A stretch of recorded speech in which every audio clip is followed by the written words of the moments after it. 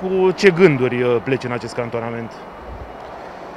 Cu gânduri bune, să sperăm că sunt gânduri pozitive, dar um, problemele care, care sunt și care au fost, uh, din câte am înțeles, nu s-au, uh, nu s-au, nu s-au rezolvat și asta nu, nu e de bine. Și ai vreun motiv să crezi că se vor rezolva? Nu, n-am niciun motiv, pentru că am vorbit cu băieții, dar uh, în continuare sper să, să, să se rezolve, pentru că ar fi păcat. Cum a fost această vacanță pentru tine? O vacanță plăcută și, și am fost foarte, foarte fericit, dar uh, totodată și, și obositoare, pentru că au fost meciurile care au fost în campionat și, și meciurile de națională, dar uh, nu pot să mă plâng, pentru că sunt fericit și a fost pentru mine un vis, uh, un vis împlinit. Așa că cât am stat acasă mi-am încărcat bateriile și sper să, să fiu 100%. Și ce urmează pentru Dejan Sorescu după debutul la națională, un debut foarte bun de altfel? Cantamentul cu FC Dinamo București. Restul nu știu să vă, să vă spun mai multe, așa că vom, vom vedea. E, mai e mult până, până să înceapă campionatul și vom, vom decide după. Începe campionatul pentru tine la Dinamo? Da, mai am contract aici până în 2023, v-am spus, mai am 2 ani contract, deci uh, vom, vom vedea. Dar ești printre cei mai căutați jucători din uh, Liga 1, nu doar de la Dinamo. Mă bucur să aud asta pentru că uh, de asta jucăm fotbal să, și muncim, să, să jucăm poate la cel mai înalt nivel sau să plecăm la, la un nivel mult mai înalt, dar uh, v-am spus, mai am contract cu Dinamo și îmi voi respecta contractul. Bănuiesc că vrei și tu în străinătate, cu majoritatea fotbaliștilor români. Clar, normal, când, când ne apucăm de fotbal ne gândim la de a juca în străinătate și de a juca la un club, uh, la un club uh, bun și la un club cu, pentru a face performanță. Dar v-am spus, sunt la Dinamo și mintea mea este aici, aici voi, uh, voi sta cu, cu mintea. Nu ți-e teamă de insolvență? Am auzit ceva chestii legate de, de insolvență, dar uh, v-am spus, am încercat să stau în vacanță să nu, să nu mă încarc încă gândurile de, cu, cu ceva negativ și, și am încercat să iau tot ce, ce e pozitiv.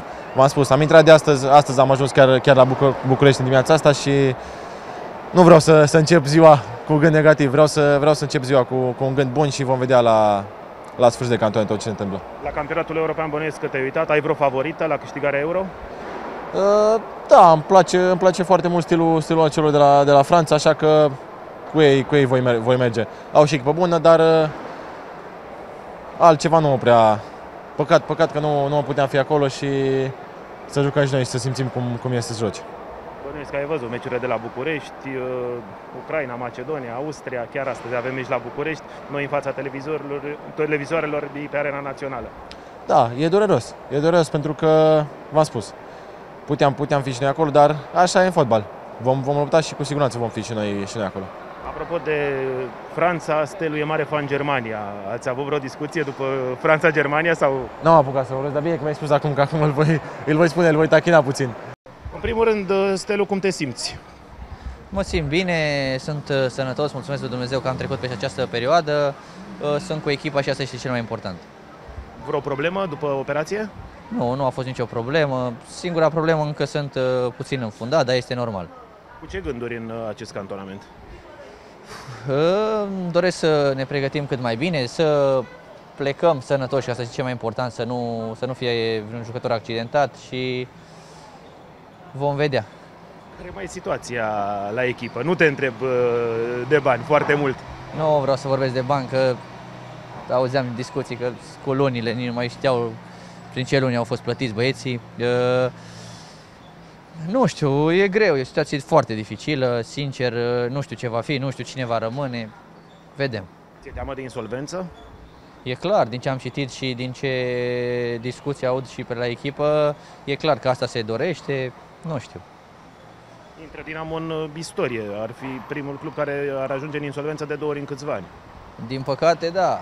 Uh, Situația este de așa natură că sunt forțați oarecum, dar uh, eu îmi doresc ca cel puțin băieții care sunt la echipă, sunt foarte mulți care oricând poate să plece, din păcate, și ar fi păcat, pentru că eu cred că pe final uh, de campionat am făcut jocuri bune și am închegat un grup uh, frumos. Ne dorim uh, continuitate și continuitate nu se poate dacă nu e liniște. Tu rămâi la Dinamo indiferent de situație? Nu știu. Este greu. Nu știu, chiar nu știu. Eu mi-aș dori, pentru că știți prea bine cu toții când am venit la echipă și atunci situația nu era plăcută, dar uh, am venit cu sufletul și acum nu se pune problema de bani pentru că am avut, am oferte mult mai bune financiar, dar sper să se, se rezolve. Altfel este greu, pentru că nu poți să o duci la nesfârșit așa. Sorescu și Anton pot fi păstrați la Dinamo în situația actuală? Normal că pot fi păstrați, dacă vor fi plătiți. Îți aduce aminte ce făceai în urmă cu 5 ani pe vremea asta? Eram la Euro. da, n-am, n-am cum să uit, să uit acel moment. că Cu siguranță este cel mai frumos moment din, din cariera mea de până acum și îmi doresc ca într-o zi să, să mai fiu acolo. Acum 5 ani eram în Franța, acum ne uităm la televizor, la Macedonia, Ucraina, Austria, acum joacă la București pe arena națională la Euro. Bănuiesc că e frustrantare, nu? E Dureros? e dureros, e dureros pentru că s-a și ținut la București și e păcat că